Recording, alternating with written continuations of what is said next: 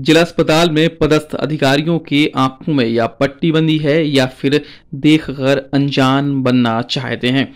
जिला अस्पताल के हाल ये हैं कि जिला अस्पताल के तीसरे और चौथे फ्लोर पर शराब की बोतलें डली हुई हैं। जहाँ देखो, वहाँ पर गंदगी का अंबार लगा हुआ है।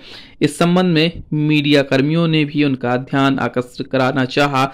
तो भी उनका कहना था कि अभी इस मामले में उन्हें जानकारी नहीं है, वो देखेंगे और कार्रवाई करेंगे।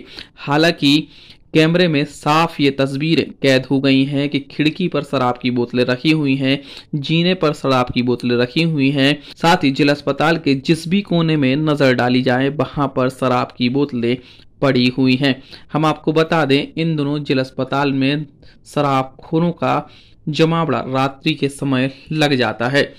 साथ ही असामाजिक तत्व यहाँ पर घूमते फिरते देखे जा सकते हैं।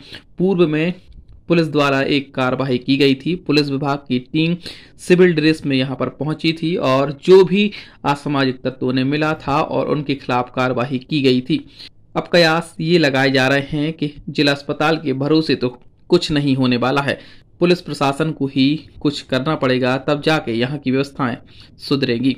हालाँकि आरएमओ ने एक छोटा सा इंटरव्यू दिया है, उसमें कहा है कि व्यवस्थाओं को हम देखते हैं। चीज़ का तो मुझे नॉलेज नहीं है। यदि पाया जाएगा उसके तो उसके प्रति कार्रवाई की जाएगी।